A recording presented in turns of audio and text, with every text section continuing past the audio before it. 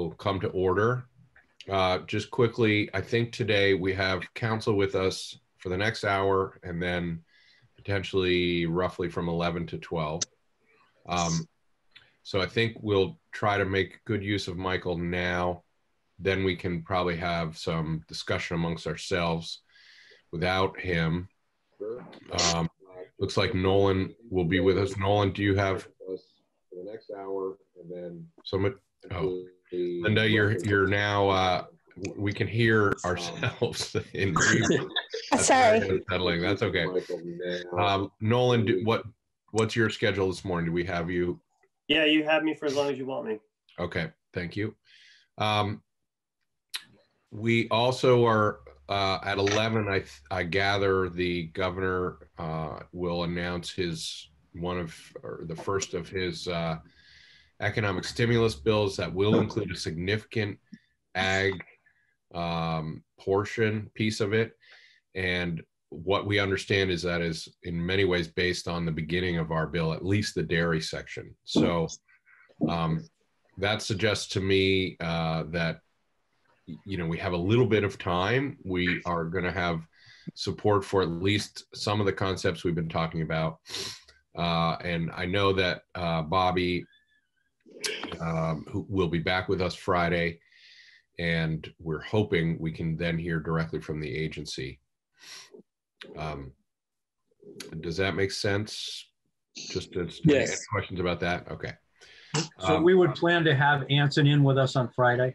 That's the hope. I don't know. You know, Bobby was going to reach out. Um, oh, he was okay to see. Yeah, I, he, they, as as you may have heard from others on the All Senate call, they got some people got a bit of a preview last night um, yeah. And Bobby had a long chat with Anson apparently, and they they commented that a lot of our discussion informed what they were doing in terms of the tiers of dairy and things like that. Um, Senator Hardy, did you have? Oh no, I just I.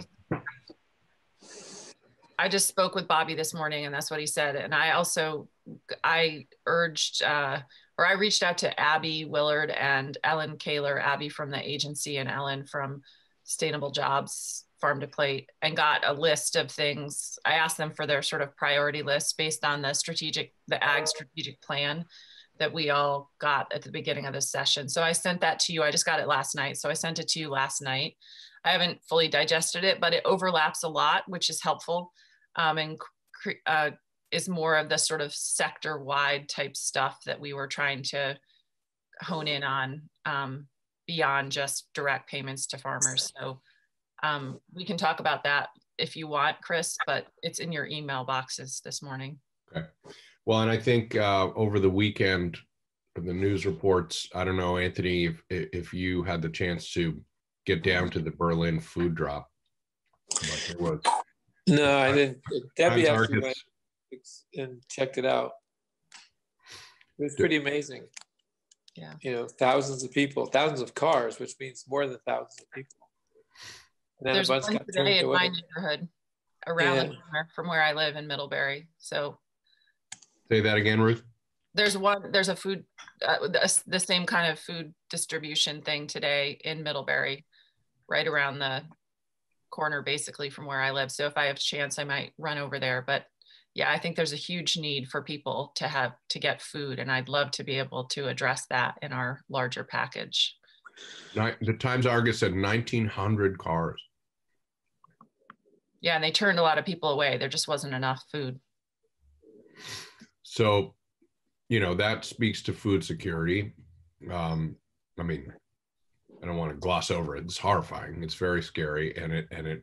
I, I've become more and more convinced that the next few months are going to be very revealing and we're going to see a lot of the pain and the weakness of even the response to date um, so it does food is central and and i think it it should spur us on um, if the administration as i understand it is only looking at dairy i think you know speaking for myself i i want us to push more broadly as we've been discussing yeah we also did get an email not much in it, but from Betsy Rosenbluth, Rosenbluth, mm-hmm. not sure if I'm mm-hmm. saying it right, from Feed and the school network, National Farm to School Network, et cetera, saying they want to talk with us about hunger issues and food issues. Um, they they work with the food bank and Hunger Free Vermont and NOFA and others.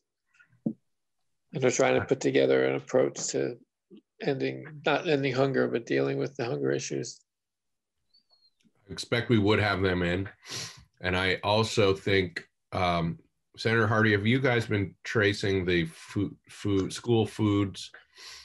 Um, there had been some discussion about continuing the service they've been doing in in Senate education. Have you been talking about that? Well, yeah. I mean, the last time I I asked the Secretary of Education about whether or not they, so they had asked for a waiver for this summer to allow them to continue to deliver food like they have been doing. And the last I heard, they hadn't heard back from that waiver. I can check in with with Rosie, but the feds are for some reason being a little difficult on approving a waiver to allow school food to continue to be delivered the way it has been. There's still the summer lunch program, um, but that is more of a sort of pickup congregate setting kind of situation. So I don't know the the the latest status, but I can I can find that out. Um, yeah, please do look into it because I think you know it's all part of the same parcel and it seems to me even without a waiver that would be potentially eligible for covid money i mean it, it is a reaction to food security and to economic impact of covid mm-hmm. i think it um, depends on whether or not we can get the school districts to do it we would have to fund it sufficiently to right. pay for the staff food and transportation yeah. Um, okay. Um, so, yeah, just one more piece that Michael and I have been working on it, and Nolan, a new uh, approach to the migrant farm workers uh, piece that we hope will be uh, eligible or allowable to work for doing uh, using federal funding um, so that we can put it into the larger package and not have to rely on general funds for that. Um, so Michael is working on a, an updated draft after I sent him comments last night. Michael, I, wanna... I sent you I sent you the updates. I don't know, like three minutes ago. Oh yeah, you did. Wow, um, that was um, magic. so I didn't I didn't know if you want wanted them to go to Linda. Um, I, I don't know. I defer to Chris. I don't know exactly what our goal is for this meeting. If we're doing this stuff or are we doing the mis- miscellaneous? No, let, let's uh, hold th- this to me is the priority. The miscellaneous ag we're going to have to come to, and so if we run out of steam on things we want to explore um, as we wait for the administration on this bill, then we can shift to missing ag, and Michael's ready to walk us through that. But let's start with the relief bill. Um, and uh, Michael, are there other updates in terms of language? Um, to me, I, I have not, I'll confess, not been as honed in on the language and still thinking of it conceptually. But um, besides the the uh, idea of helping migrant workers, are there other changes, uh, Senator Collamore? Thank you. I, I just wanted to suggest maybe it would make sense to wait until we see what the administration's proposal is specifically uh, before we take up our bill again. In other words, I think there's going to be some substantial overlap, and I, I don't know that it makes a lot of sense to make changes to what we've already drafted and then listen to what they have, and then we're going to have to go back and do it all over again. It's just a thought. And I know it's at 11 o'clock today. Um, unfortunately, we always are meeting at the same time that the governor is doing the press conference. So I've never been able to actually watch the press conference. Not suggesting that today, but you see where I'm coming from? Rather than sort of work on something and then have the other piece, which I think will be a bill. I believe it'll start in, commit I mean, it'll be a committee bill, not here, but it will follow the committee process from what I was told yesterday and, and eventually wind up in appropriation. So um, there just may be some duplicative work done before we listen to what they have kind of. Yeah, Senator Hardy. Brian, uh, Brian, do you know, I mean, will it, is it going to come to us? You said it's going to start in commerce, but it, are they going to, you know, section off? I mean, I guess you don't know, but do you think we're going to get the section that's on uh, for ag that so we we get to work on that, not commerce, because we've already. Yeah, I, I don't think the path forward is 100% clear right now. Uh-huh. Um, but I assume that if it has something to do with agriculture, this committee would have some something to say about that. And the rest of it with other businesses might go to economic development. Um, but I think in the end, it'll be uh, it'll be a bill that a couple of committees will look at.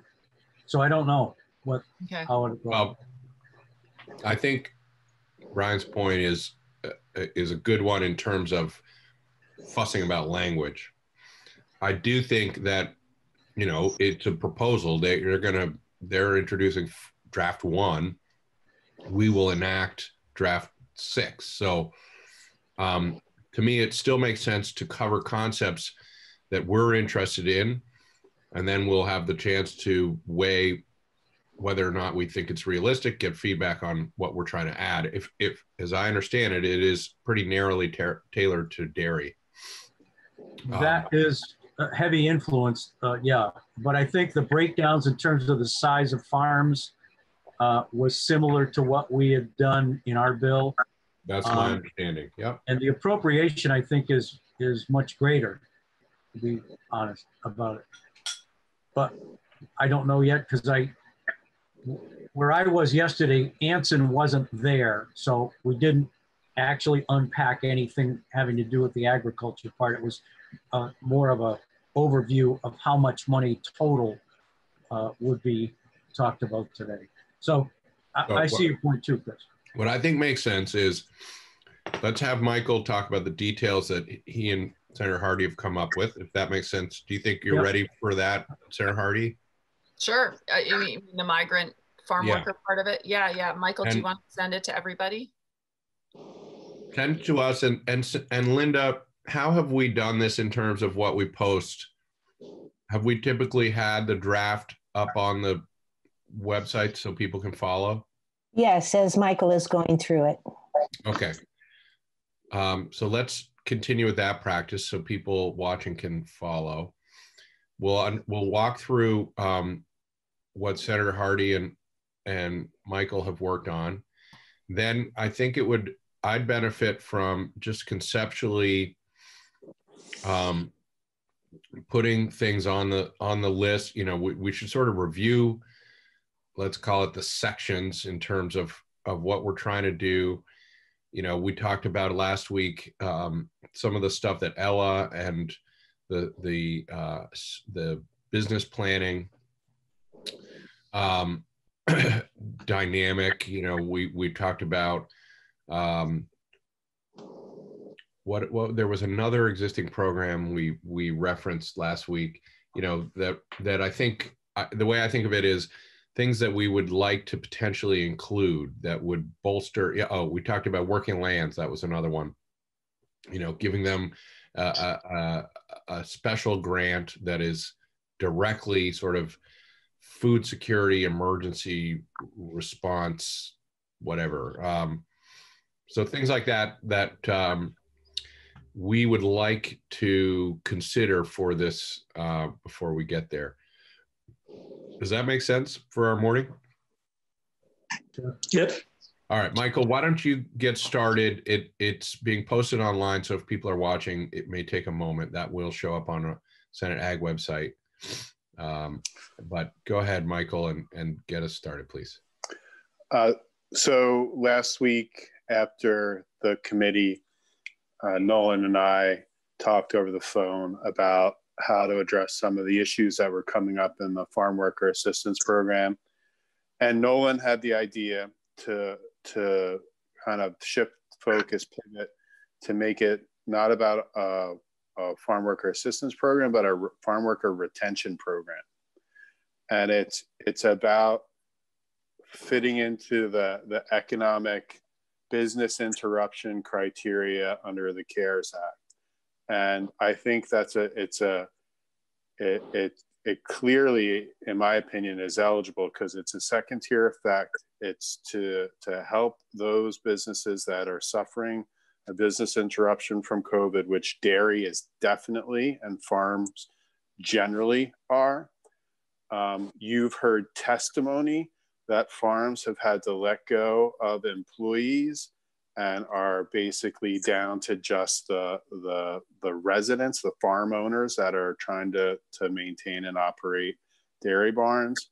So this to me seems like a, a very clear way to to go forward um, to uh, provide for the eligibility of who would be eligible. It would be someone that works at least 40 hours a week for a farm employer less any time missed due to illness or injury during that period of March 13th through May 15th, and they are not eligible to receive CARES Act funding. So, someone that already got a stimulus payment would not be eligible for it. So, if you were um, a farm worker that got your your CARES Act stimulus, you you would not qualify for this. Um, also, people that would not qualify would be members of the farm employer's family, an independent contractor, and an individual who received unemployment insurance benefits for any week during that March 13th through May 15th, 2020 period. Um, so I, I, the first thing I did, which you will see on page one, line three to five, is add a purpose section the purpose is to assist farms that experience business interruption from COVID to continue to employ their workers by providing an economic incentive to farm workers. So I, I think that that specifically states that it's related to the business interruption and providing um, assistance to those businesses.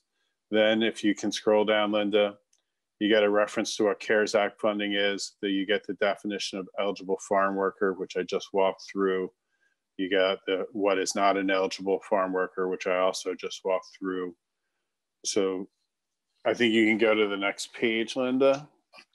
And then you get what is a farm, which is the definition effectively from the RAPs. A farm employer means the owner or operator of a farm where individuals are employed to conduct farming. Farming is the Act 250 definition, which is also the definition under the RAPs.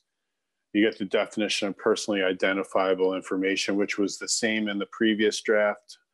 Um, this is the information that will be protected from public disclosure and will not be subject to Public Records Act uh, request. That takes you on to page three, where you get the establishment of the program. There's established a farm worker retention program to award eligible farm workers with a $500 direct relief grant payment as an incentive to assist farm employers in retaining employees during and after the declared state of emergency under 20 VSA Chapter 1 due to COVID 19. Then you get the administration of the program. It's going to be administered by the Agency of Ag, but the agency is required to contract with a public or private entity to conduct outreach, provide application assistance, process grant applications and deliver assistance payments to eligible individuals. So it is going to be run through a third party contractor. The secretary is going to adopt requirements, guidelines, procedures as necessary to implement the program. They shall not be required to do rulemaking to do any of those requirements or procedures. Then in the contract for implementation, notwithstanding any provision of law to the contrary, they don't have to do this through a competitive bid contract um, and that it's going to be deemed to qualify for the emergency situation under Administrative Bulletin 3.5. And then the contract with a public or private entity that will implement the program shall require that entity to issue grant payments to farm workers pursuant to the provisions of this section and pursuant to the procedures established by the secretary. Then you go on to the application process. So the language that you had seen before was the farm worker directly applying. This is not going to be that. This is going to be the the employer um, is going to to apply. So in order to enroll in the program and make employees eligible for grants, a farm employer shall submit to the secretary as secretary's designee a notice of enrollment in a form specified by the secretary on or before August 1st, 2020.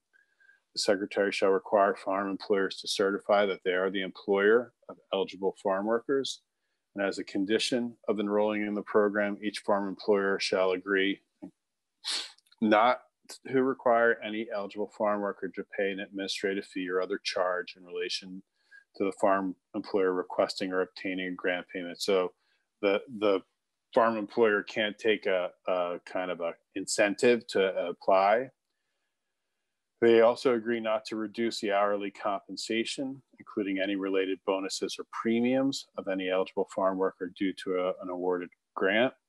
A farm employer that has enrolled in the program shall make a request for grant payments in a form specified by the secretary for each eligible farm worker according to the requirements established by the secretary or secretary's designee. The secretary shall specify the information that must be provided for each eligible farm worker. When farm employer, when a farm employer enrolls in the program and when grants are awarded, the secretary shall inform the farm employer and the eligible farm worker with a written notice that the grant may be subject to income tax and that the eligible farm worker's grant may be subject to withholding.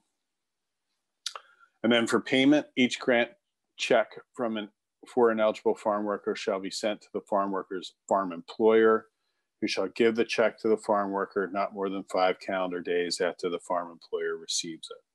So that's that's the same way that the essential worker um, program worked. Uh, similarly, similar to the essential worker program, the farm employer uh, is not required to enroll in the program. We're not, you can't really mandate that the farm employer apply for their employees. Um, and if you scroll down to page six, a farm employer that elects not to enroll or neglects or fails to submit a request for an eligible farm worker shall not be liable to its eligible farm workers for any amounts that they may have been entitled to receive under the program if the farm employer had enrolled. And then you come to the confidentiality provisions, all personally identifiable information that's collected uh, by the program, any entity of state government performing a function or any entity contracting to perform the function shall be kept confidential and shall be exempt from inspection and copying under the Public Records Act. In addition, the secretary shall ensure that any entity of state government performing a function of the program or any entity that the secretary contracts with uh, implements appropriate procedures and safeguards to protect any personally identifiable information that it obtains in relation to the program and shall not disclose an individual's personally identifiable information to another state entity or contractor and complies with all applicable requirements of the personally personal identifiable information protection chapter in Title IX. Then there seems to be a false page break there. Can you go on to, then you get to the appropriation. Um, so the amount of 550 is appropriated in fiscal year 2020 from the Coronavirus Relief Fund to, that should say the Agency of Agriculture for use in fiscal years 2020 and 2021 for administration of the payment of the grants from the Farm Worker Retention Program until December 2020, which is when all funds need to be expended. Um, and that should say December 30th, 2020. Uh, at, or until all monies have been awarded, provided that the agency may only use up to 9% of the total appropriation for the purposes of contracting for the administration of the program. So that's that's Great. it. Um, I I did note to uh, Senator Hardy this morning about the personally identifiable information provision. That is only state law. The CARES Act funds have the authority for the federal treasury to do single audits of programs and states. So the federal authority, audit authority, they likely would not recognize that um, confidentiality provision of the personally identifiable information. The contractor or the state could assert when asked, but then the Treasury, the they would basically initiate an enforcement action in federal court, and the federal court would not recognize that state law. But the information resides in the contracting agency. The The contracting- information would reside with the contracted entity, yes. Now, that's an, this is another point I made to Senator Hardy. Um, because it's passing through a state agency, there needs to be accountability provisions that the state agency maintains in order to, to ensure that the program is operating um, according to fiscal diligence. And so there are, there are grant provisions that are required under administrative bulletin. I can't remember if it's 3.5 or 5. And um, so some of them is transparency to the to the to the state agency that's providing the grant. So th- there there will be some transparency and accountability towards the state agency. But in my opinion, I doubt the Secretary of Agriculture, the agency, is going to get to that granular level of who each individual applicant is. Okay. Uh, Senator Collamore? Thank you. So I have a couple of questions, and forgive me if we've already gone over this, but I'm just not remembering it if we have. Why do we need an outside contractor? Why don't we just let the agency take care of this?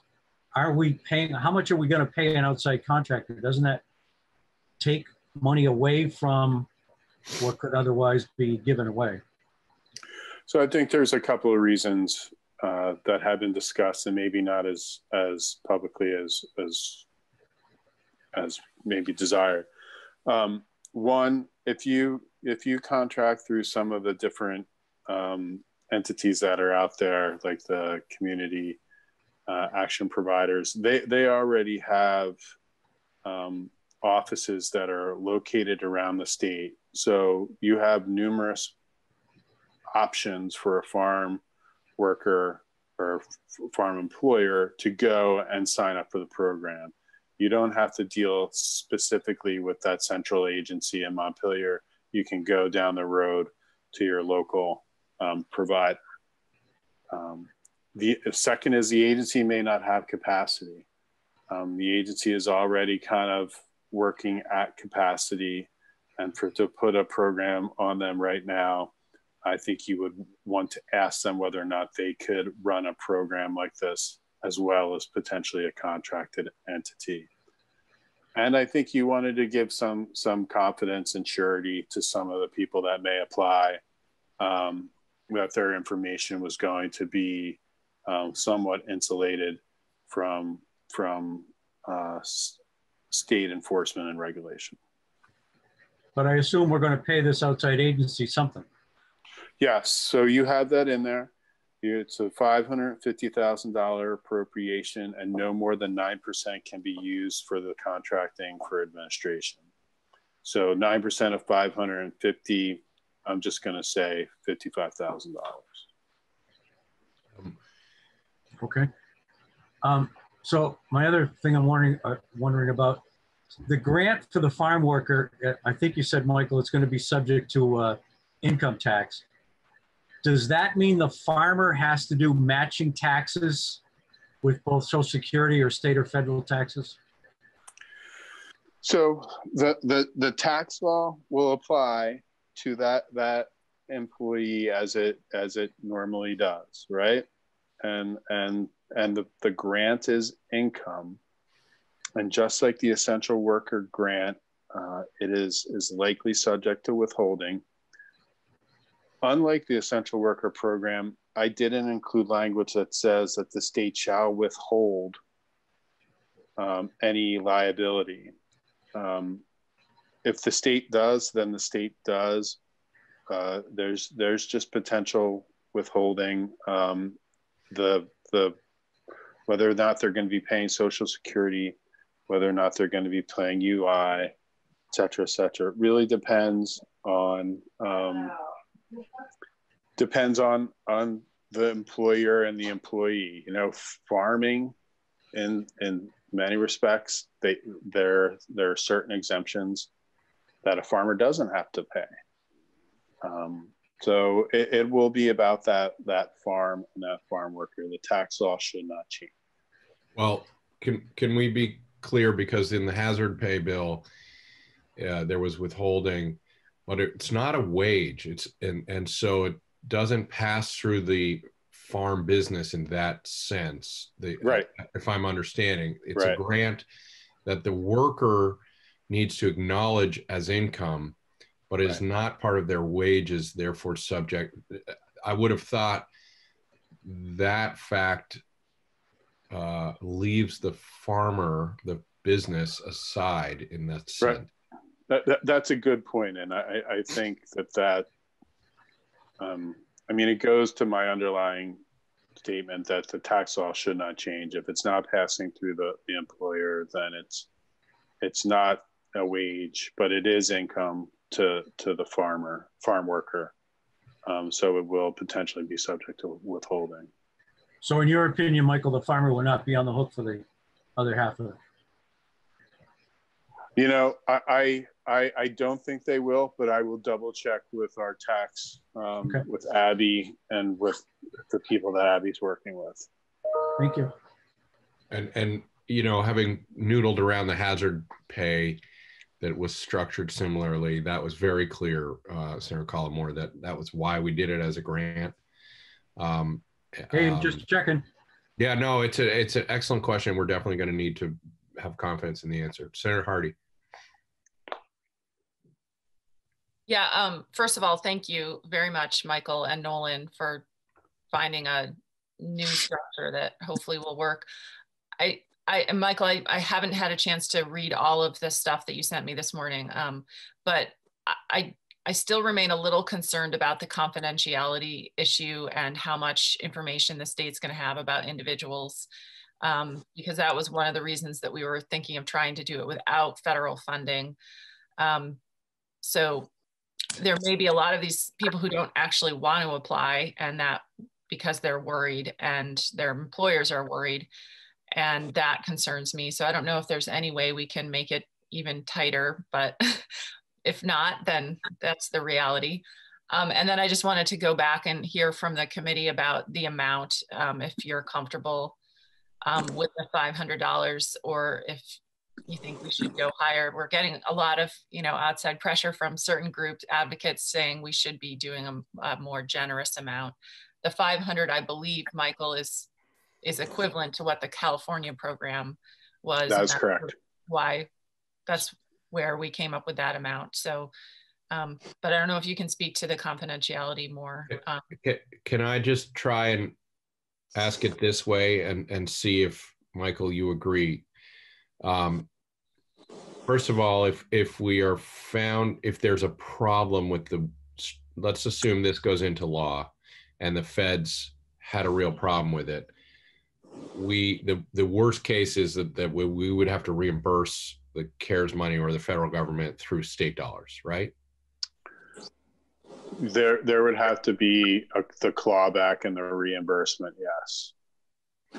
The Well- the that the next step is whether or not if they do initiate enforcement and they discover information, whether or not they use that information in whatever way for whatever type of enforcement enforcement, whether it's tax or otherwise. yeah. Okay. that's my concern is that it could be an immigration issue and that's why the the most the way we can however we can insulate it and keep it confidential um the better the, the more we can do that the better I mean, I think that's the driving impetus betw- bef- behind pushing it to a, a, a partner nonprofit. um, I think the partner nonprofit is is one layer of insulation.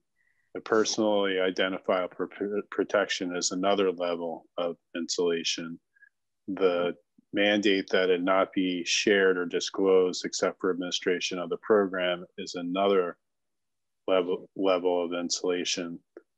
But that does not entirely insulate the program from a federal audit authority.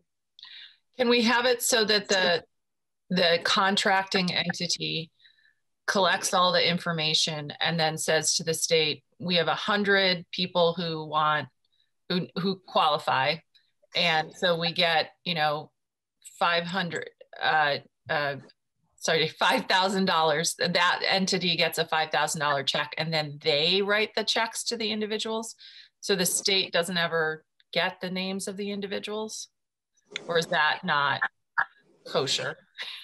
Um, the way that the program's set up, the farm employer is is going to apply, um, enrolls, certifies they have covered eligible farm workers, provide some information to support that. Um, it's not real specific as to what information needs to be provided because you're leaving that basically up to the agency and the contracting entity to, to formulate. Um, and so at that point, it, it's if that information is available to the contracting entity, uh, the agency could just ask how many farm employers applied for how many farm employees. Um, and so that that that is the type of granular data I think the agency could request. Now you don't have in here that type of limitation that that's all that could be could be provided, just the aggregate information. You could build into it that the contracting entities shall only share with the state the aggregate information about the number of eligible farm employees that received assistance.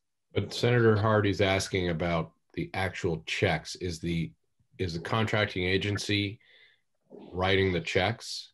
Well, that's that's what I just I, I wrote into the bill this morning at the request of of Senator Hardy that there's a now a payment provision, which I apologize that it was not clear in what I had sent out before. Um, so each grant check for an eligible worker shall be sent to the farm worker's employer. It should be shall be sent by the contracting entity Okay, to the farm workers and okay. that makes sense. Then, then it's clear that the checks are being written by the contractor. Um, Yep. and that the state doesn't necessarily need to know that the contractor needs to know, but the state doesn't need to know that Chris Pearson is one of those farm workers or whomever. Right. Um, Okay, Nolan's got something to offer. Yeah. I just want to also add, and uh, for the record, Nolan Langweil, the Joint Fiscal Office.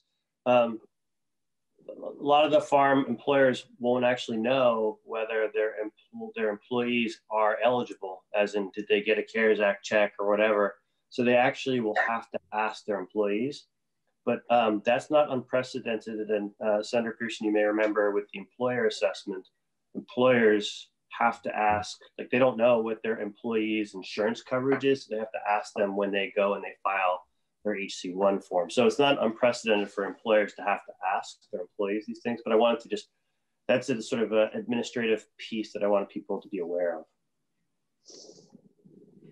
Yeah, it's a good point. Um, to that end, does that infer any um, liability on the farmer, on the farm business, um, to having uncovered that detail? Does that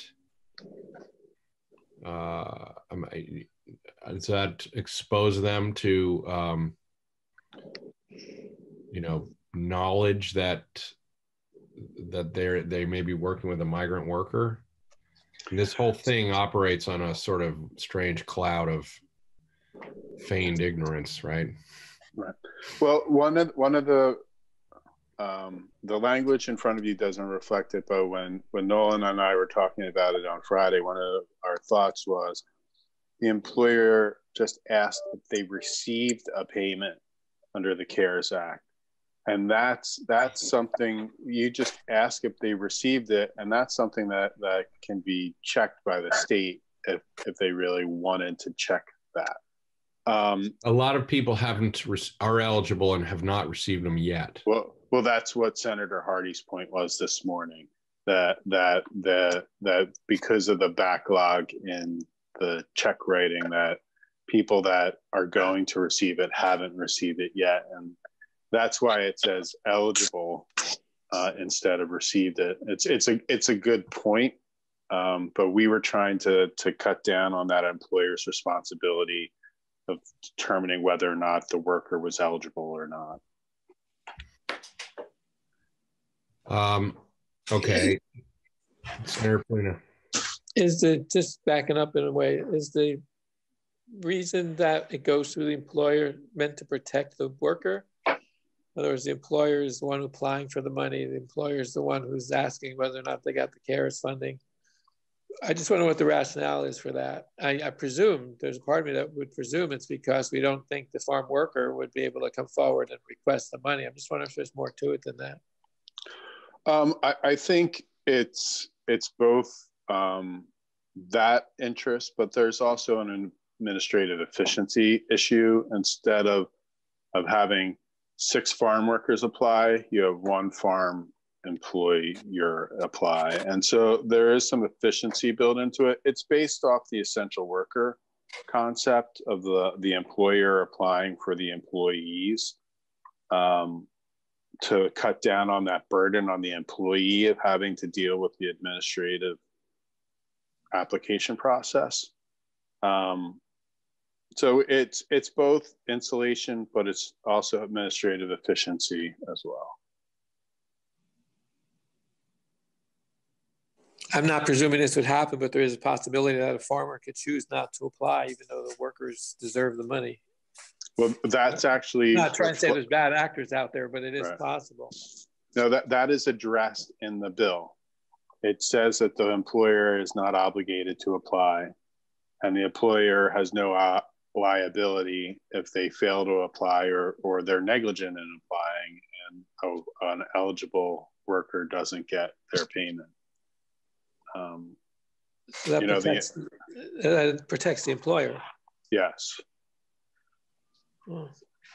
This whole thing is, you know, a calculation of of trying to get this across and be protective, right? That, that that's a real balance. Um, the yes. Is there anything in here that gives you agency of ag uh, any money to to carry out their role?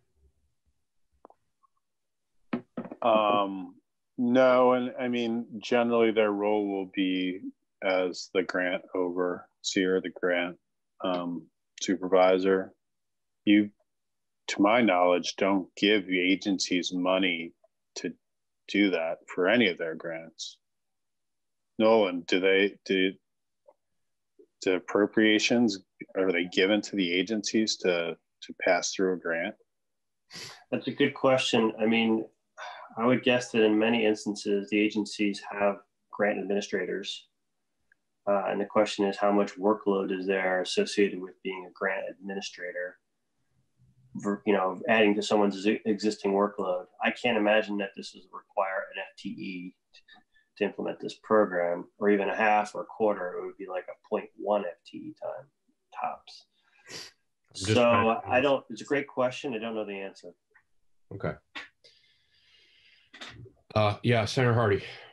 Um, if, if the committee is willing, if we can, you know, reinsert this version um, into our bigger package. And then I think it might be, I think it would be valuable to get somebody from the agency in here. And the person who I think knows the most about this area is Allison Eastman.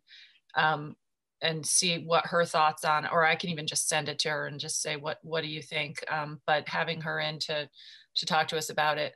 I, I mean, we've been going through lots of hoops to try to make something work so that we can get some payments out to these farm workers who worked through this crisis and have families to support and bills to pay just like the rest of us and try to acknowledge the importance of their work to the dairy industry. Um, and I guess again, are you, are you guys comfortable with the five hundred dollars? Is that does that seem like a reasonable amount? Um, and uh, Nolan and I have been talking a lot about how many workers there are, and right now this assumes a thousand would would apply and qualify, which is kind of the middle point of the, the huge estimate variation that we have for the number of these farm workers. Um, so I just sort of picked the middle point as saying, this makes sense, but.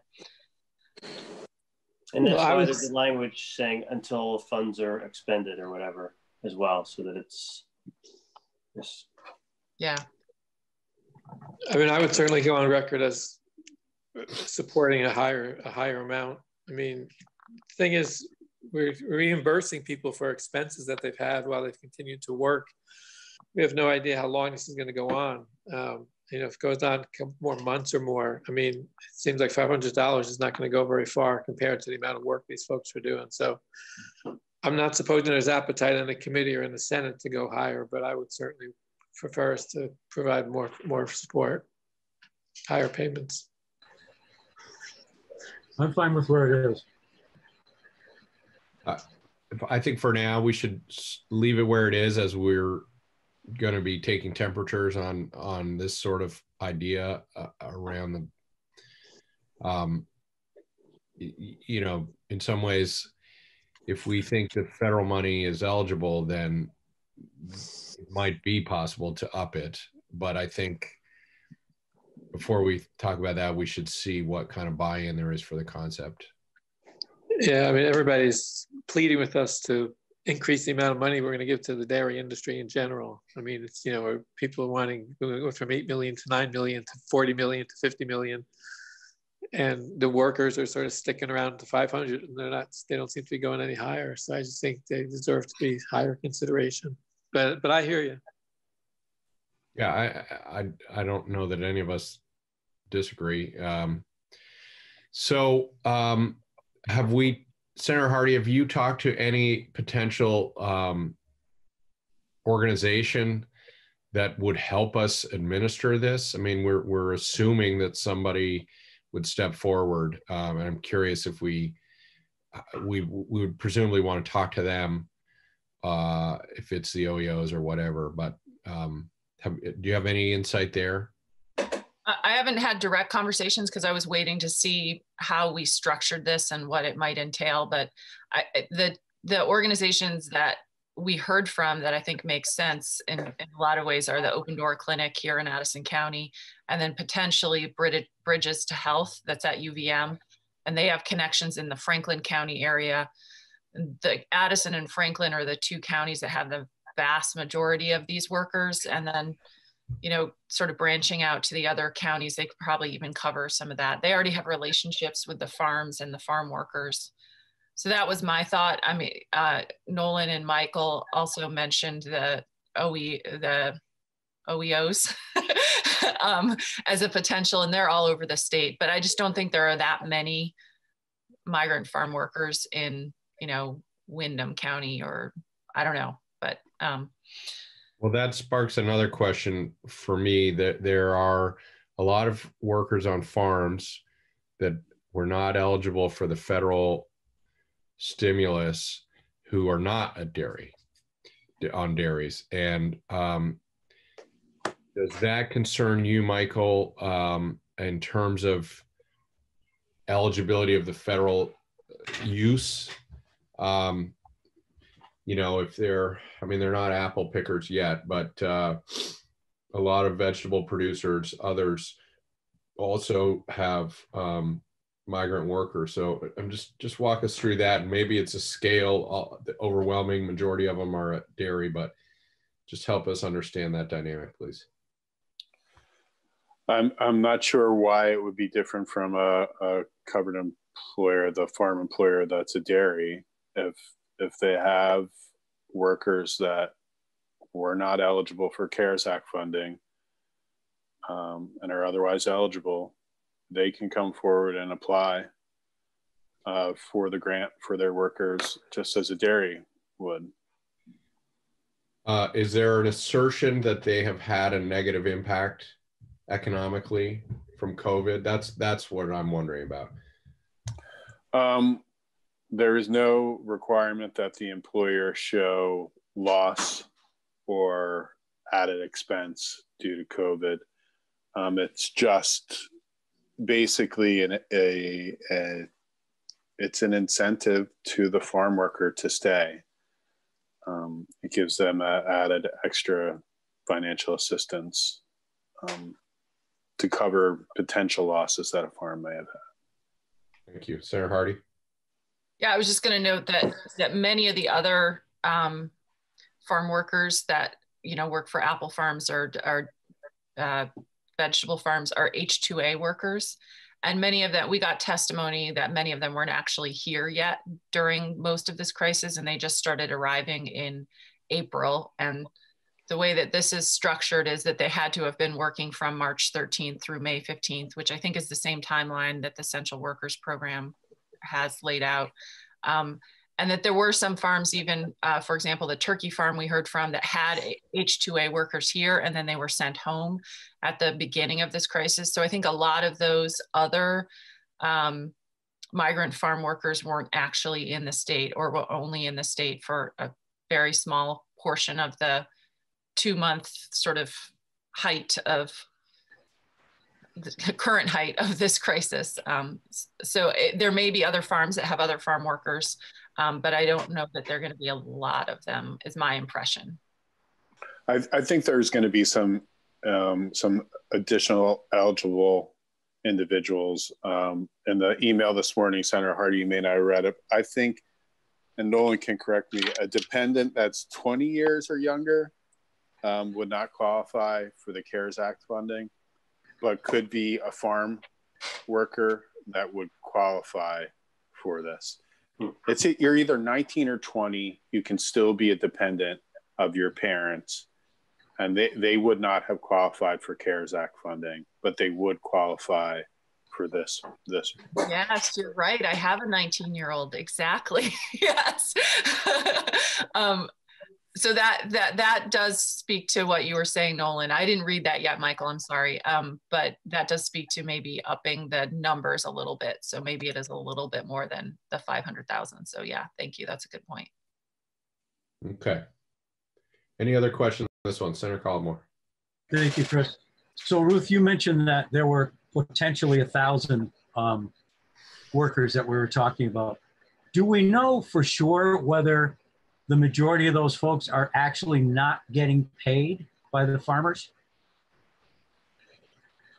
Oh, they're getting paid by the farmers. They, they just are. get the CARES Act. Wait, wait, what do you mean? I don't know if I understand your question.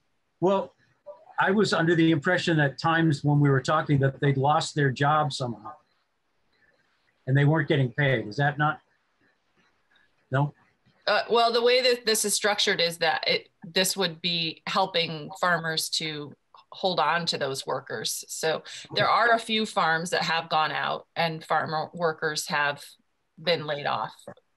Um, so uh, this would be not necessarily unemployment for those in that sense, but it would be for the farm workers who were retained and did work through those two months.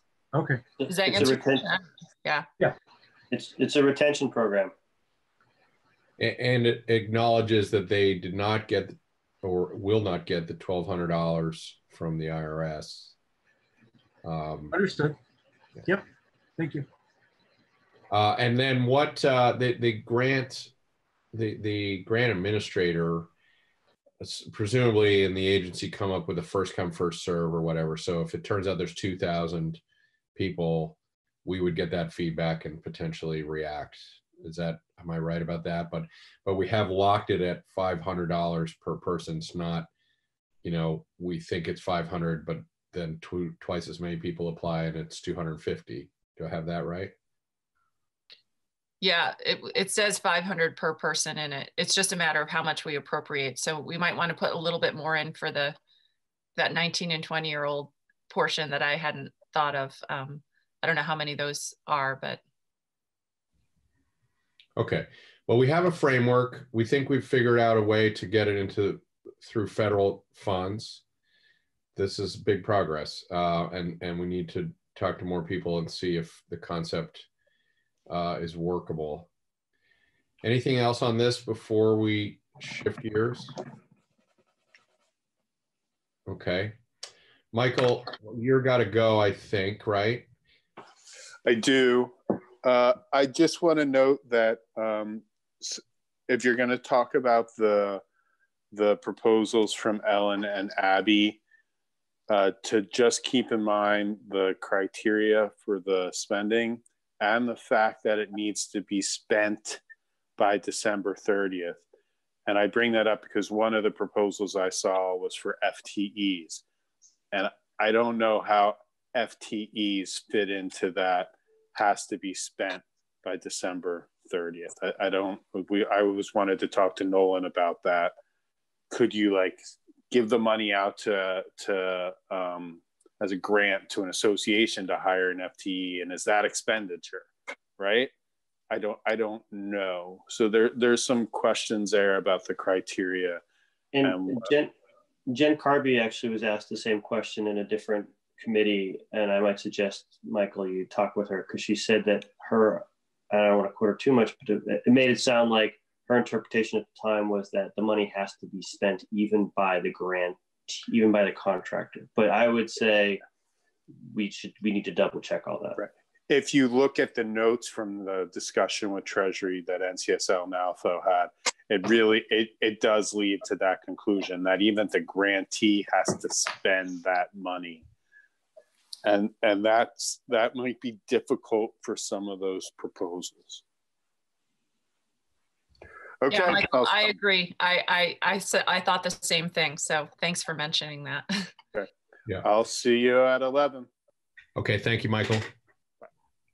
And just Um, one last thing on that, if I may, Yeah. is that although there's conversations in at the federal level about trying to create more uh, uh, leniency with the current CARES funding, we don't know. We have to obviously we have to operate in the world we live in now. Three months from now, it could be different, but this is the world we're in now. So, just to say that. Yeah, it's quite a world. Okay. Um, so, uh, Linda, just pop in here. You just said, what is it? I'm documented percent with revisions. So, Linda just messaged me that she has a document from the agency. Linda, what, what, is that a revision to our language or that's what they're proposing at, at 11? No, this is a revision uh, to your language on on the farmer assistance bill. It is what they sent was the farmer assistance bill with some highlighted areas they want changed. I think unless committee disagrees, I think we should wait and hear from the agency at once. Um, I, uh, does that make sense? Yeah, and I would like the chair to be here too. Yeah. Um, so what, um, just without, without staff here, uh, well, Nolan, thank you for listening, but, uh, as we, as we look at our current bill, we have the dairy portion, um, let me see if I can pull it up. Hold on, I've gotta get another screen going here. We have, um,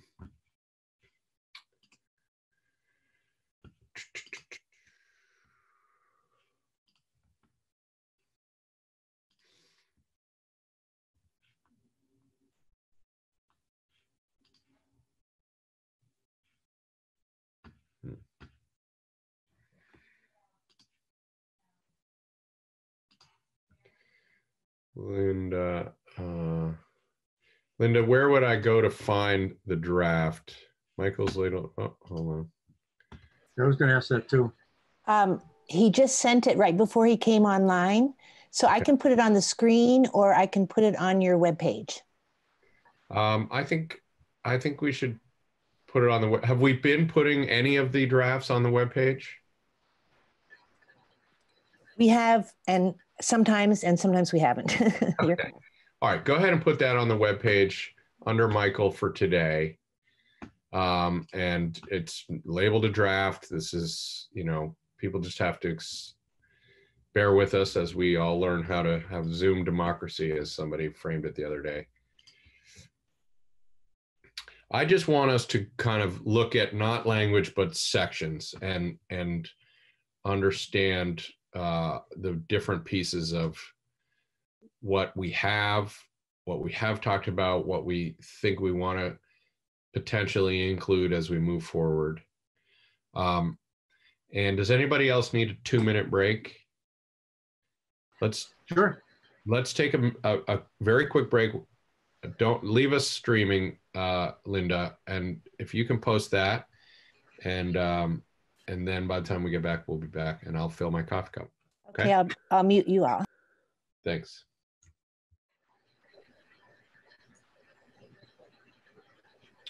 So I'm just documenting, we've got the dairy, we've got non-dairy, we've got farm workers. I'm just looking for the headings. And we just, and this does not, I assume, reflect what we just walked through.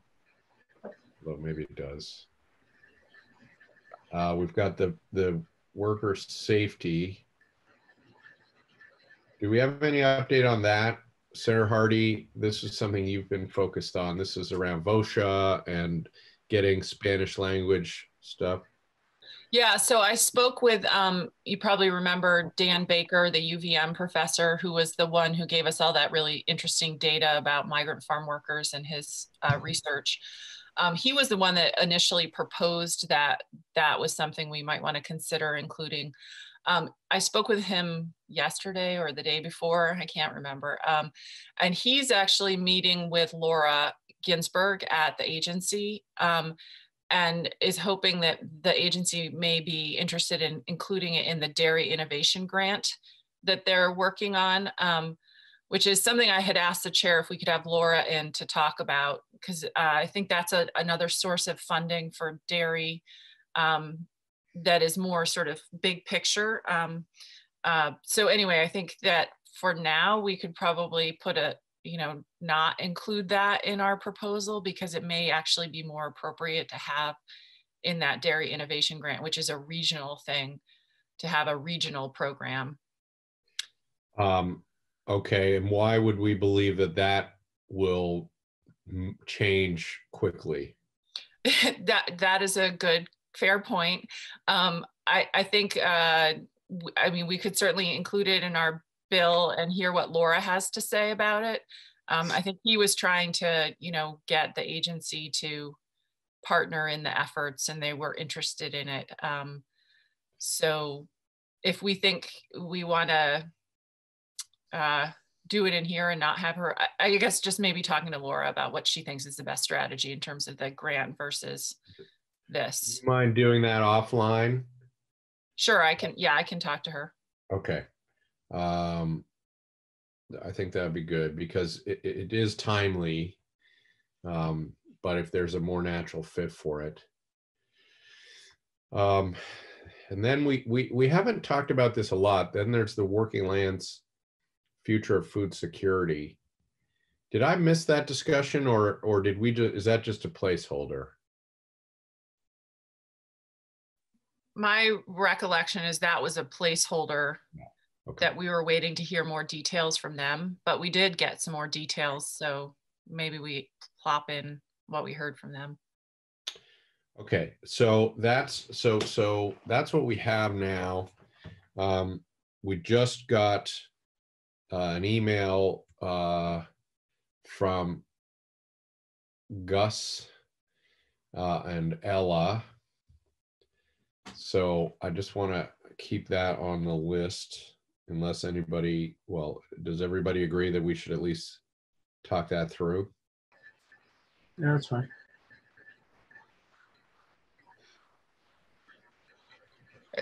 I mean, if Michael, is Michael coming back that, um, Yep. There's a whole bunch of yellow in here that he changed since the last time I'd like to. Yeah, I, I, I'm not, I don't think given that we don't have the chair and that we're about to hear a, a more presumably concrete proposal from the administration that we should worry about wording at this moment.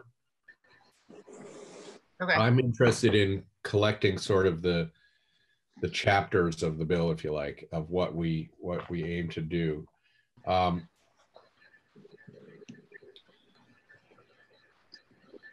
so so far we've got dairy, non-dairy, we've got the farm workers, we've got this worker safety piece, we've got some kind of working lands, uh, food security, we've got um, Gus's uh, planning, kind of uh, what what how would we char- characterize the work that Ella does? Um, economic development for Yeah, it's kind of business assistance, the way it's looked at for farmers. I mean, it fits into the idea of um, helping farmers who were talking about getting this relatively small grants to adapt to the new markets and whatnot. I think Yeah. that's a large part of what they're talking about is their ability to work with farmers to do that kind of stuff. Um, okay, are there other broad areas? Um, we, we, So- Well, we, we haven't plugged in anything to do with hunger really, or food security in terms of the bill. I mean, we've talked about it a bunch, but we haven't actually plugged it in anywhere. well, I think it is considered in the working lands placeholder. Uh, but Sure, that- but in terms of like funding, like the farmer feeding, what it's called, Vermonters feeding Vermonters, or I forget what it's called. But there's a couple particular programs um, that the food bank and NOFA operate that are existing programs that we've been encouraged to better fund. okay. Yeah, I agree with Anthony. I think having a placeholder for them. And there was also in the, the stuff that we got from Abby and Ellen, there was a proposal that, um, you know, the EBT cards for the Yeah. SNAP program. Right, yeah. Um, they actually need uh, the EBT readers, and those seem like a really good thing to use the funding for. I think they need 50 of them. I don't know. The numbers are in Ellen and or Abby's thing, and you know that's allows people who are on food assistance programs to use their cards at uh, CSAs and farm farmers markets and online ordering and stuff like that. But it's an equipment issue. They just don't have enough equipment. So, and then also funding that program, giving more money to that program to allow lower income Vermonters to buy food at these places. So I think that is, a, and the Vermonters Feeding Vermonters program is another. And then school, school food, uh, Chris, I don't know how we want to get back to that. I don't know if our bill makes as much sense anymore, but something in that area would, I think, be relevant. Well, I think it makes sense uh, whether or Yes, not I mean, timeliness. in the context of the timing. uh, Well, it actually okay. makes, it makes sense to actually increase the, the, the goal, I think. I mean, move it up higher percentage. Yeah, I think the the goal definitely still makes sense. Whether the logistics make sense given the stress on school districts, um, Right. is That's what true. I'm more concerned with. True. Uh, yeah, I mean, we're we're just beginning to fully appreciate uh, how the state's going to respond to a four hundred million dollar budget challenge. So, So Ruth, let me ask, because you're in education, it- I assume that um, Dan French hasn't made any decision yet about the fall in terms of schools reopening, that kind of thing. No, I, the not any final decision. I mean, they are working under the assumption that schools will be open in person in some capacity. Um, how what the details of that are are still in the work, and a lot of what they'll be doing this summer is planning for how that can can work. But I think you know all things remaining the way they are or getting better, the the plan is to have schools open. Okay. I saw something, I'm not sure what, where it was. I think it was Colorado. The governor there was talking about the fact that there'll be a certain number of parents who will choose not to send their kids back to what we'll call traditional uh, educational settings because of concern, but that it actually could be, a, I don't want to say it's a good thing, it would make the distancing situations a little easier to do because there'll be fewer students in classrooms. I, I thought that was, I never thought about that, but it, it makes sense. Yeah, I think that there the the potential for some kind of hybrid model where there's some distance education and some in-person education is is is uh, set, certainly on the table as an option because you're right, distancing social dis uh, physical distancing in a school building is extremely difficult, especially with you know students who may or may not comply 100% or be able to given their age and their development.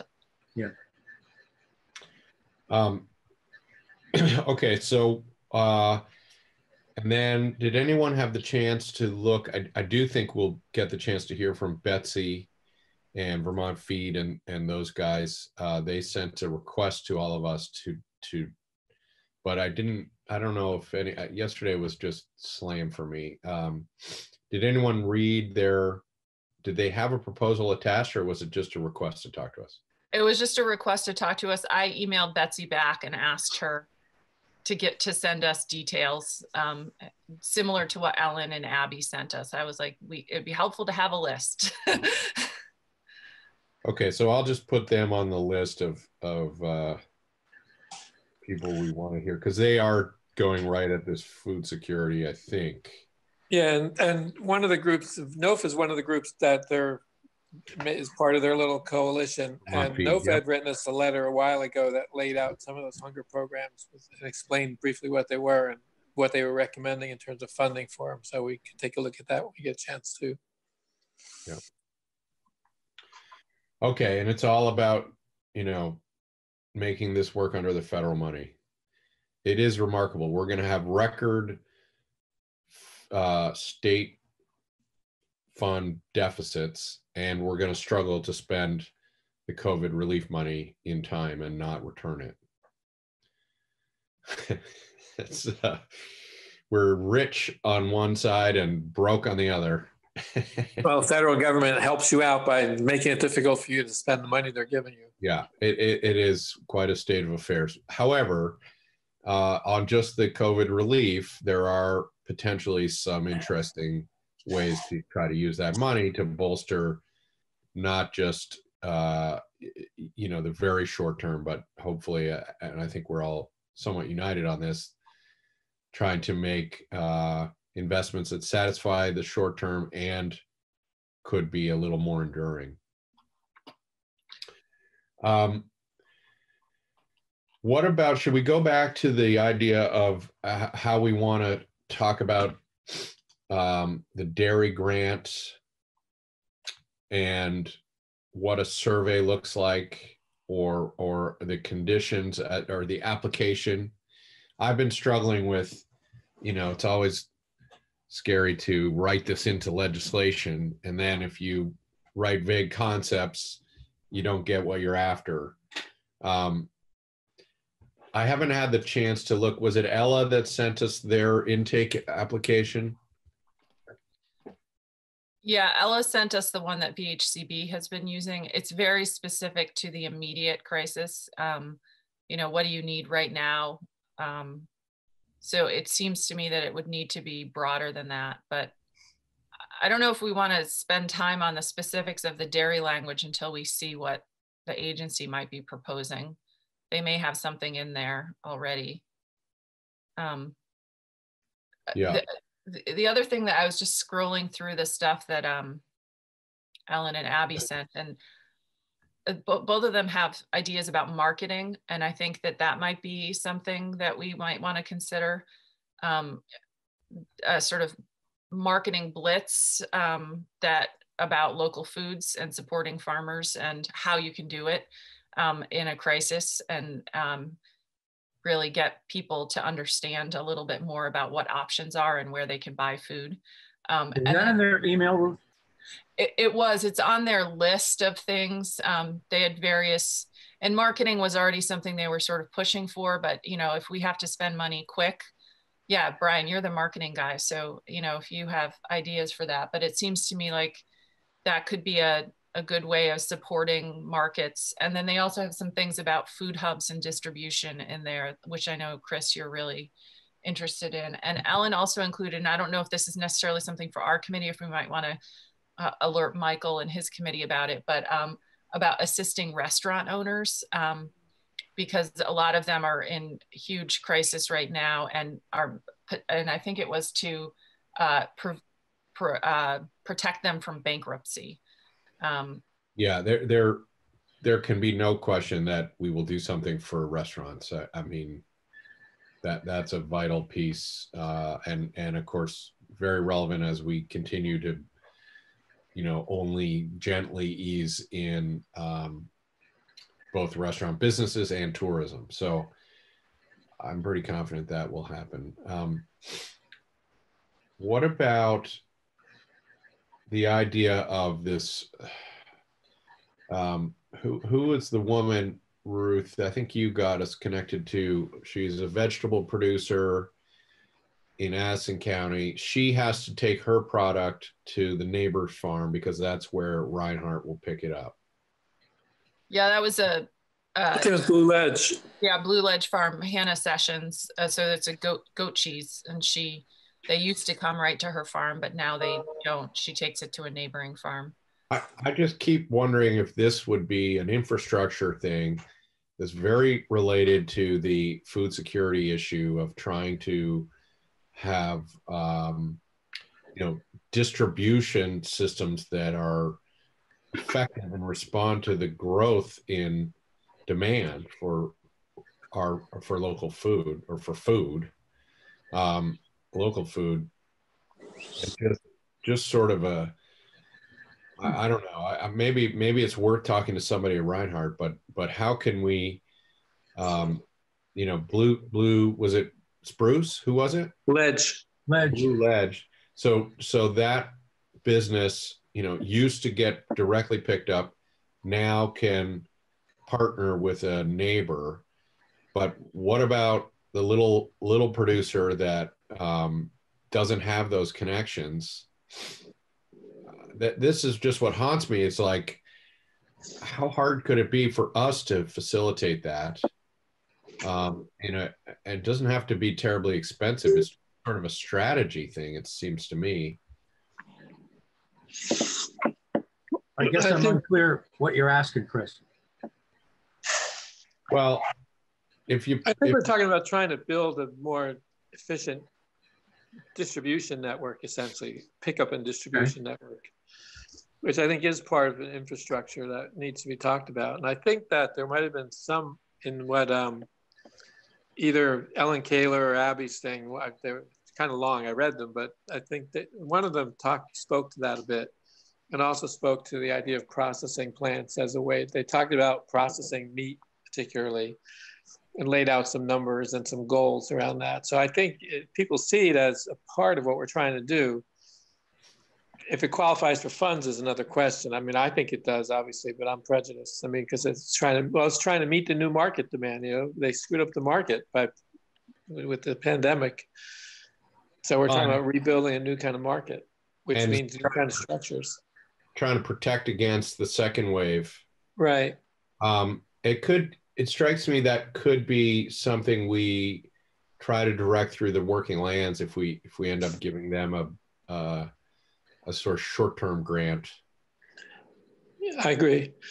They're also not, and the letter that Gus sent, I only skimmed it, but they were not asking for a huge amount of money. They were, they're, they're into leveraging money. So they, it's pretty modest what they're talking about compared to what you get for it in return. Yep.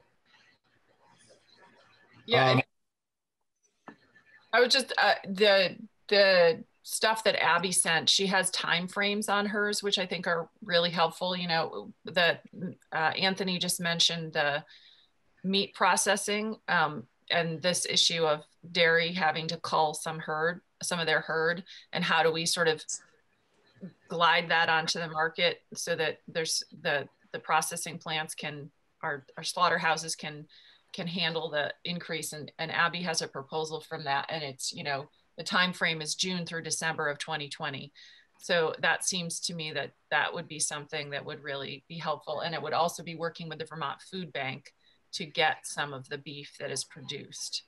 Um, so that seems like a huge win win win you know get more beef get more of the farmers some money for their culled herd, um, get it processed, to get it onto the market, but also getting some of it to the food bank directly. Yeah. Good protein. Yep. Yeah. Okay. Um, well, I, I'm satisfied that we have a good list. We've we've poked around. Some of these issues are more worked out than others, and I'd be glad to bring this up with the chair and sort of, uh, you know, we we we were moving very quickly into the wording, and um, I think it's important now that we have a, well, I don't know that I would say I'm clear on the timeline, but it's clear that this is going to be a little more organized in terms of a, a overall economic recovery package. So, um, there, there, if, if people have other things you kind of want in the menu, um, we should bring that forward now or quickly. Yeah. Sorry. I'm also looking at, um, Abby had brought up the um, product associations, you know, uh, like the Vermont Cheese Council, Ver Vermont Fresh Network, the Brewers Association, there's probably the Maple organization, those organizations, and maybe that's the way we sort of direct some of the marketing money, but also um, immediate you know payments to them to help their members um, through the the the crisis too and that's a more immediate term. So that may be a way of stretching this out across uh, across sectors Mm -hmm. Yeah, that strikes me as a sort of a different strategy for the the um, we have already in our bill in terms of um, agricultural producers, which is non-dairy. Um, but it's a good thing to keep in mind, or or a little bit of both. Um, so I don't know. We can we can take a break. Brian, you mentioned, and it wouldn't hurt my feelings to watch the governor's press conference at 11, but we also potentially have uh, Michael back uh, around 11. He's at another committee until 11, but we know sometimes that goes long to start walking through the miscellaneous ag bill, um, which there's not a great hurry on, but we're clearly going to have to put our attention to. So what do, what do people want to do? Um, do you want to come back at 11 with Michael and do the miscellaneous ag?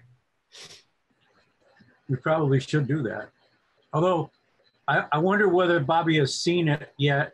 My guess is he's probably looked at it. Um, I mean, if we have a walkthrough with Michael and he's not here, we're either going to have to catch him up or we're going to have to do it again when he gets back. Well, so, he, he he built the agenda and he told me that you know if you need time, you should you should do this. So um, the other possibility would be to watch some of the governor's thing. You know, it starts at eleven he's it's not we don't have to sit through all the questions and answers and all the follow up and all that but listen to what he says at 11 and come back together again at 20 after 11 or 11.30 for a half hour and go through the bill briefly. Okay. Do people like that idea? I do like that idea anthony. I'm presuming they show it on it's a, it's live on i haven't watched any of them. They're live on tv it's on channel 3 and it's on radio. Yep. okay listen to it on radio. It also never starts at 11 well, that's true. Yeah, the, we they may not get to even get to the part part that's relevant to us by 11:20, but we can try. Maybe that'll be up front. let's say 11:30. That also gives us a great better likelihood that Michael will be back with us. So Linda, are you able to hear this? Yes. If you can, um, we'll we'll go offline in a moment here and we'll reconvene in an hour with Michael for the purposes of walking through the miscellaneous ag bill. And then in the meantime, those of us. That, okay, I will. I'll put you all on mute, and I'll put a notice up that the committee will be back on this video at 11:30. Sure. Will that be streaming the whole time? Too bad we can't put the governor on our on our on I could send, I could send you another uh, uh, at invitation to oh. another meeting, or we can do it that way. I'm not sure I care how you do it. Um, we'll get back on this one um, unless you send us something in the meantime. But but importantly, if you can alert Michael that we don't need him until 11:30. We'll do. Okay, everybody. Okay. Sounds good. See Thanks. you soon. Bye. You I guess we'll. Hello, Michael.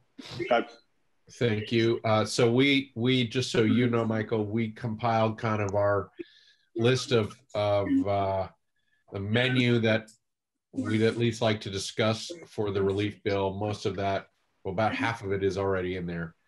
Um, so I'll work with uh, the chair on uh, figuring out that discussion.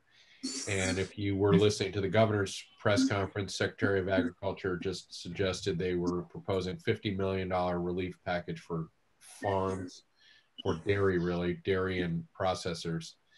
Um, so, you know, it's uh, more than we were contemplating, but in a similar vein to much of our work.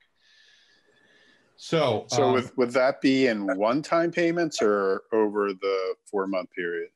Uh, it's our hope that we will have uh, somebody from the agency in on Friday to walk us through their proposal. I know the chair was working on that uh, when I talked to him last night, or was that was his hope. Secretary Tebbetts did not give us much detail on that, but my understanding is it's a one-time payment. So in other words, if, and I forget, I think it was our large farms, we were gonna go 50,000, 50,000, 50,000, or 150 in one lump sum. This would be the one lump sum, but I don't know what that number is gonna be. Yeah. Kind of thing. Um, right. So we'll hope to get more details either Friday or early next week. Senator Hardy. But there was nothing in their package for anything beyond dairy and cheese. Um, so I would assume that that's something we would want to make sure we cover. Yeah, Yeah, because you, you said they mentioned so, so many million for processors and it's inter- be interesting to see what those processors are. Are they just dairy processors? I As think opposed to meat and other things that we need to do? Yeah, I don't know. It was 10 million and I don't know uh, where it's earmarked. That's right. No, we'll we'll look for those details, and uh, of course, it's just a proposal. The way the budget is a proposal at the beginning of our process, they they have to partner with the legislature. We look forward to partnering with them and and injecting uh, some of our own ideas and also uh, complementing what they're trying to do. So um, at the moment, so we'll hear from them as soon as we can, hopefully Friday, if not early next week. Um, given that the the next stop after we do this relief package will be miscellaneous ag, Michael, would you? Uh, we might as well take your time now. We have 25 minutes left, and if, if you uh, could just start introducing us to that House proposal that's now in our possession. Um, Sure. Um, all right, that's ju- what I was just going to ask for. Joe Linda, Um, thank you. Is it also on the website? Yeah, Yes. Sure. Yes. Um, so H656 is an act relating to miscellaneous ag subjects. The first sec, and I'll just be clear, it really is miscellaneous. There's there's a ton of different stuff in here, very different subject matter. The first section relates to commercial feed and a prohibition on page two, sub D, that would prohibit a person from distributing a commercial feed product in the state that is labeled as bait or feed for white-tailed deer. And that's on page two. Could you say that again, Michael? So, so right now there's requirements for commercial feed in the state, including the labeling of commercial feed. And it is currently prohibited to take deer through baiting. Okay, And there are people that are selling commercial feed in the state that is labeled as bait for white-tailed deer. And the agency would like to prohibit people from distributing commercial feed that is labeled as bait for white-tailed deer. Does that answer your question? yes, thank you. Linda, okay. could you just scroll up a tiny bit? Um, sorry, no, there, there's underlined language that Michael's describing and a, a little bit down page two. Um, so, Michael, how does that work? It, you're very specific about the labeled. So what if they just don't label it as bait and then? Uh, I mean, Well, well, a small uh, thing to alter the label in this case. Right. So um, there is legitimate use of of feed for deer in Vermont. There is a captive deer facility in Vermont, and so you can sell feed for deer. Um, that that is a legitimate use, and and the and the feed is not just limited to to use for deer. So there there are legitimate uses for it. That then it's if somebody takes that legitimate feed and and uses it to take a deer with that bait, well then that's a fish and game violation. It's a criminal violation. It's a felony violation actually um, with imprisonment. So that that's that's how that would play out. Okay, thank you. Okay. Um, moving down to section two, these are required record keeping requirements for livestock transporters. You may not remember, but a couple of years ago, and you can go on to page three, Linda, you um, did a substantial redraft of the um, requirements for the handling of, of livestock, including their transport and traceability. And you required uh, livestock transporters, haulers, et cetera, to maintain uh, records compliant with the applicable state and federal statute rules and regulations. And what the agency was looking for was basically information about what livestock haulers and transporters were doing, what they were purchasing, et cetera. But as it turns out, under under the USDA rules, there are some times when uh, a hauler doesn't have to include certain information. And the agency wants this information. So on page three, you'll say when not required under the requirements set forth in state and federal statutes, the records that a, a livestock hauler transporter needs to maintain shall include livestock purchased, repossessed, sold, or loaned by a livestock dealer, transporter, packer, the complete name and address of the person from whom livestock was obtained and to whom delivered, the official individual ID number that is required, uh, and for equine livestock, there's a, a, separate set of requirements that are, are elsewhere in statute. But it's just to make clear that even though the federal rule might not require it, the agency still wants this information for haulers, packers, and transporters.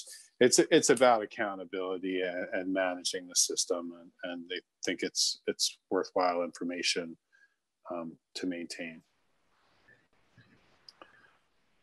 So should I move on? Ryan, did you have a question? Yeah, I'm just making sure. Um, so the transporter would just have to have the record, but that Yep. person is not sending that to any agency, right? No, it, it's it's it's one of those records where the agency asks them to to maintain it subject to their inspection, but it's Okay. not required to be submitted to the agency. And this isn't, in essence, asking them to do anything more than they're already doing. Well, they, they may already be required to do it if, they're if they're um, triggering an activity that's covered by federal rule or other applicable state statute. But there are s- situations where they're not required to do it by federal rule, and the agency still wants that information in those instances. Okay, thank you. Um, section three, I don't think any of you were on the committee um, when the issue of testing captive deer for chronic wasting disease came up. But uh, at that time, the debate was whether or not the state should pay for the testing of captive deer or whether the um, owner of the captive deer should pay for the testing. Testing is required under federal rule. The Animal Plant Health Inspection and Safety Division of USDA requires chronic deer, uh, captive deer to be tested for chronic wasting disease when slaughtered. Um, the committee, the Senate Ag Committee uh, included this provision that the Secretary of Ag shall pay for the testing.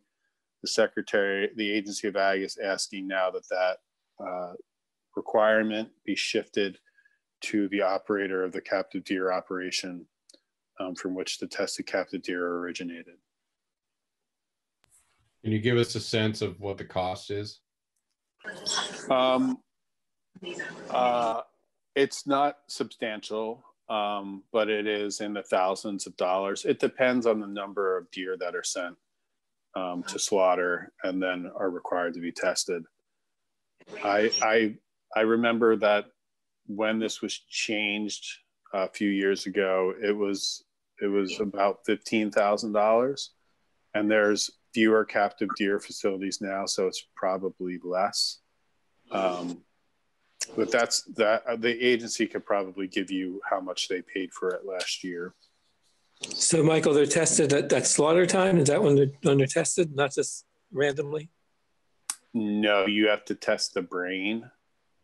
Okay. Um, so it's it's at it's at slaughter Okay. or after slaughter.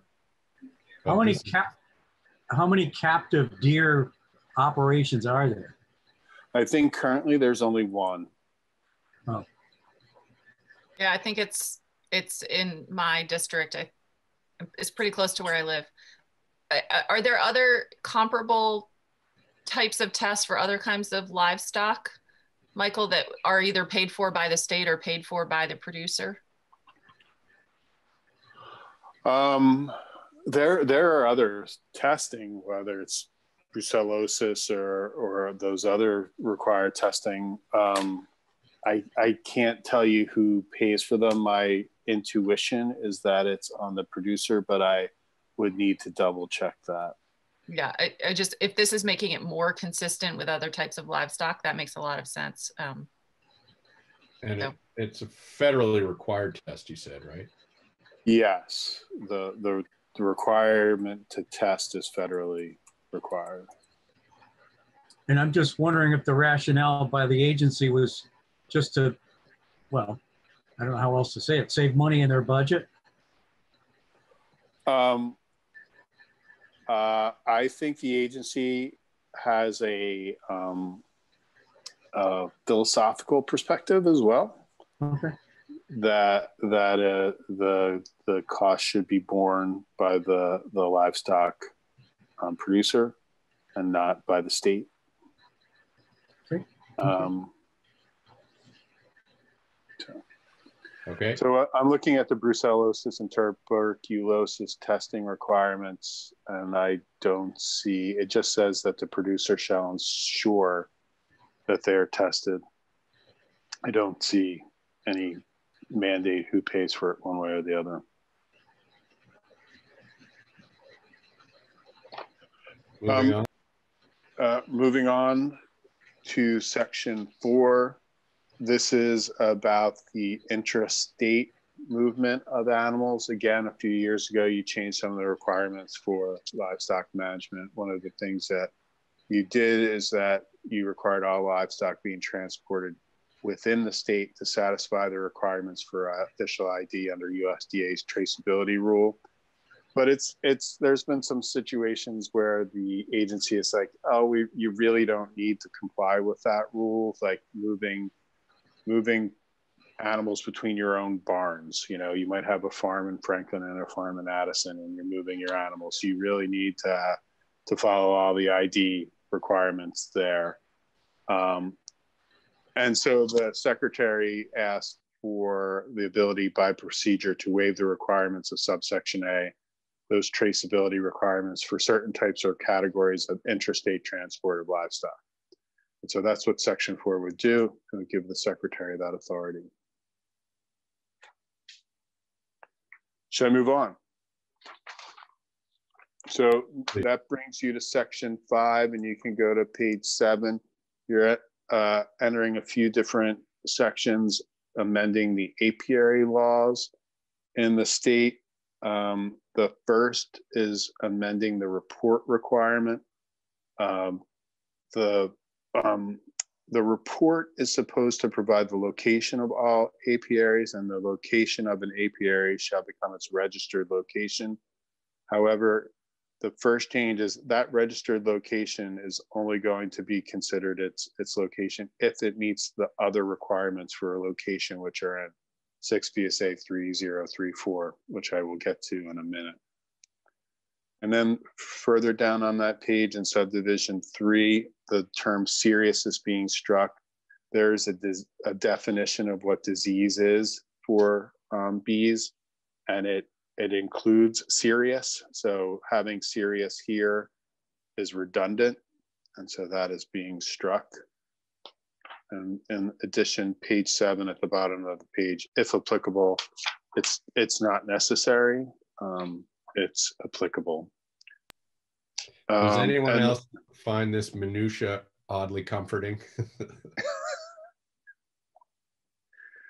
Uh, Yes, I was thinking the same thing. I was like, this feels like the ag committee again. right. I know how you feel. Um, going on to the next page, there's a notification that uh, the apiary um, owner report the detection of uh, American foul brood uh, in their hive um, to the secretary as soon as possible, as soon as practicable, as I should say. Um, and then going down section. That wasn't part of last year's requirements already? Uh, no, it wasn't. It wasn't in there last year. Um, in section six, uh, there's been there was discussion in the house uh, about what standard the laboratory needs to meet for testing, whether or not it needs to be a federal laboratory, could it be another laboratory, could it be a certified laboratory? What certification would the laboratory need to have? To avoid all of that discussion, the House just said it's a laboratory approved by the Secretary. Um, so the Secretary can can determine which laboratories it, it feels meets the standards and um, inform the apiary community of that. All right. Uh, moving down to section seven. Uh, if a person is um, going to sell their bees, if they're engaged in the rearing of bees for sale, currently they are supposed to um, at least twice during the summer have their uh, apiary inspected. And that that's just a, um, a burden, administrative burden on the agency. Uh, one of the things that they like to do is to reduce that somewhat. And so instead of it being twice each summer, it's going to be prior to sale at least once each summer. So that will allow the agency to reduce the number of inspections, but it will also be conditioned on before they are sold. So the agency will have that opportunity to, to look at the health of those bees before they are sold. Michael, I, oh, go ahead, Senator Hardy. I don't know. I bet you were going to ask the same thing I'm going to ask, which is I, I seem to remember last year when we did our bee bill that we increased, we, we provided additional resources for the agency to provide to do inspections and that part of the goal was that they do more inspections. So this seems to be going in the other direction. Well, they they do they did hire someone. I think she's actually full time. I think what um, and they are doing more inspections because they've hired Brooke. Um, but I think it's still something that they they believe they can achieve the intent of this uh, and ensuring the health of the the the bees prior to sale while reducing that administrative inspection requirement. I also seem to recall there was a time window. You had to, if you were transporting, you had to have a test within two weeks or something. We're So- getting to get to that. Okay. So, so that's the next section, section eight. Um, so the agency shall not approve the import of bees, used equipment, or colony, colonies from out of state unless accompanied by a valid certificate of inspection within the previous 45 days. Last year you said it at 60, and now the agency's asking for 45. So you can't bring your bees in from another state unless it has a, a certificate of inspection from that state issued in the previous 45 days. and then moving down in B, um, any person other than a common carrier who knowingly transport or causes to be transported, used equipment, or colonies to a point within the state shall provide the secretary with an approved import permit and certificate of inspection no less than 10 days prior to entry. So current law is you provide that certificate not more than 72 hours after entry. And so the agency wants to go back to the import permit and inspection is provided prior to entry. That's what it used to be prior to entry.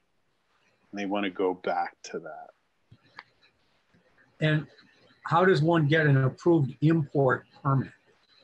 You uh, apply to the agency for that. Okay. And they just say, yep, bring them in, or do they? Uh, th- they have they have an application, and you fill it out, and you provide the information, and they approve or not.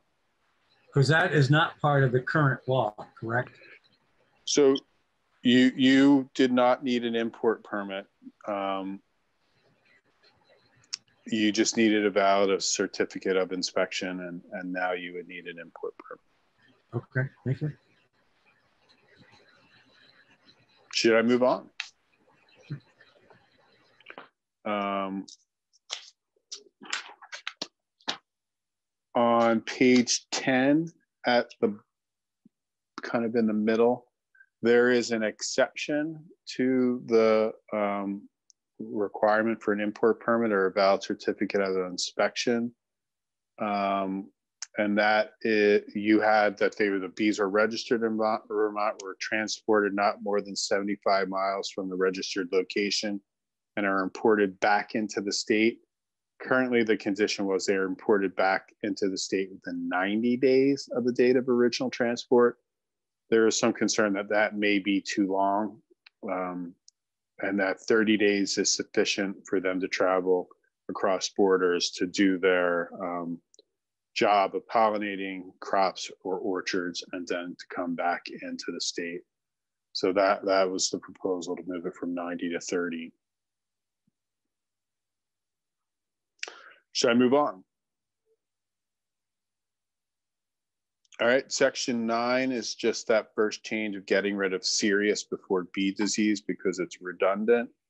Section 10 is the criteria for establishing an apiary location. I won't go through all of them, but this is the section that's referenced in your first apiary section about when a location becomes the registered location. The only change here is, is on subdivision four. It was unclear whether all of these conditions were individual or conjunctive. So we added an or. Uh, it's all of these are, are individual exceptions that you don't have to qualify all of them, qualify for all of them to be um, accepted. Section 11 is about rabbits and slaughtering them. Rabbits are not an amenable species under the Federal Meat Inspection Act. And the Federal Meat Inspection Act requires states to be equal to, meaning that their requirements need to be the same as the Federal Meat Inspection Act. So rabbits are being removed from the definition of livestock under the slaughter requirements. A person that raises rabbits still can voluntarily get them inspected, and rabbits still need to meet the FDA standards for the sale of food, meaning that they can't be adulterated but they are not required to be um, inspected under the Federal Meat Inspection Act and are being removed from that requirement under state law. Section 12 and 13, there are two um, ag water quality funding programs that are not under the ag water quality funding chapter or subchapter and the agency wants to consolidate all of those funding programs into one chapter, subchapter. So that's what Section 12 does. It takes the Vermont Seeding and Filter Strip Program and the Farm Agronomic Practices Program and takes them from where they are in law under existing subchapters and moves it to the Ag Water Quality subchapter. It doesn't change the substance of these sections at all. Not one word has been changed. They are the same as existing law. They're just being moved. Um, and that allows you to go to section 14. Um, this is just some technical changes to the requirement that the agency adopt RAPs. Um, you're, you're gone by it, Linda. Um, so the agency was required to adopt or amend the, the uh, RAPs to uh, include requirements for small farm certification, and they were supposed to do that on or before July 1, 2016. They did that. They would like to get rid of that date. They feel it's been met, and now the reference to it is obsolete. And they would like to be directed to maintain the rules for small farm certification instead of adopt them. Um, and that's what section 14 would do. Should I go on? Section 15 is about the certification of custom applicators. Custom applicators are people who apply manure or nutrients to the land of others for compensation. And you require them in Act 64 to be certified by the state in order to provide those services. However, you have some exceptions from the requirement to be certified, and those are on page 16. First, the owner or operator of their own farm applying manure or nutrients is not required to be certified custom applicator. That condition from Act 64 was conditioned on the owner or operator completing ag water quality training. Well, ag water quality training is already required.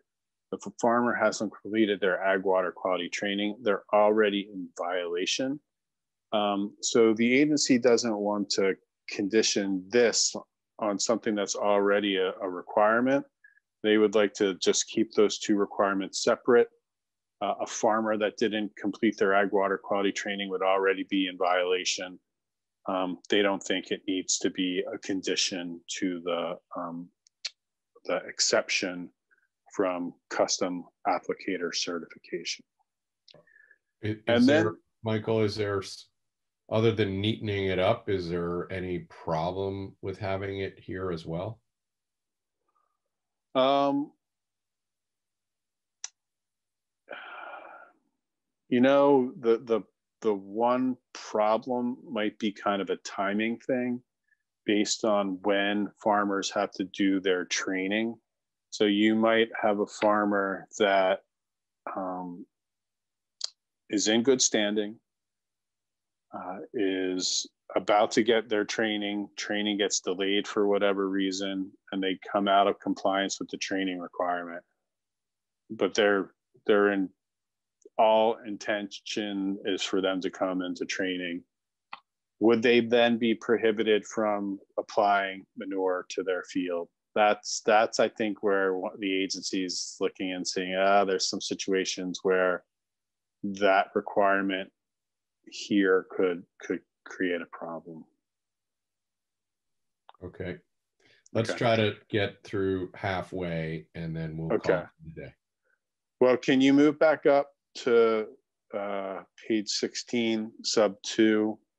This is this is the neighborly neighbor provision as it's being called. This is adding an exception to the custom applicator certification for application of manure or nutrients by a farm owner or operator on the field of another farm owner or operator when the total annual volume applied is less than 50% of the annual manure or ag waste by volume generated on the farm where the manure is spread. The concept here is you're a farmer, your equipment for spreading breaks down. Can you ask your neighbor to to apply manure on your farm for half a side of beef for for you know a cut of hog um, and not have to get the neighbor have to get certified as a custom applicator the agency would like to have that ability of, of neighbors to provide those services without having to be a certified custom applicator. But they want to put some limits on it. It can't be more than 50% of the total annual manure ag waste by volume generated on that farm, provided that the agency may approve the application of more than 50% on a farm by another operator when circumstances require an application of the manure would not pose a significant potential discharge to run off to state water. That's more of an emergency provision. If if you really need that neighbor to go in there and deal with it, um, the agency has that authority to do it if it's not going to create, create a threat to water quality. All right, moving on, section 16. This is about the management of non-sewage waste. Up until recently, the agency. I'm gonna, I- I'm just gonna jump in. This seems like, uh, we've had beginnings of this kinds of discussion. This is not simple, uh, change a word here and there. So I don't think we should do it since we're running over our noon deadline and we all have to be on the floor in less than an hour. Okay, Anybody feel strongly that we should just call call it there. Yeah. That sounds good. Are we meeting tomorrow? I can't remember. No, I, I No? think we're meeting, Linda, what time are we meeting Friday? It has been at 10 o'clock. Is that what you want again? I, I Sure. think so. The chair will be back in action, so you can check with him, but I hope. And our floor Friday is 11:30, right? Yeah, Oh, that's a good point. Um, yeah. I think you have to ask Bobby, um, Yeah. but it would make sense to me to be a little earlier. Um, okay, we can, st- I do have a scheduling question, but we can stop the live feed unless anybody has any questions for Mike.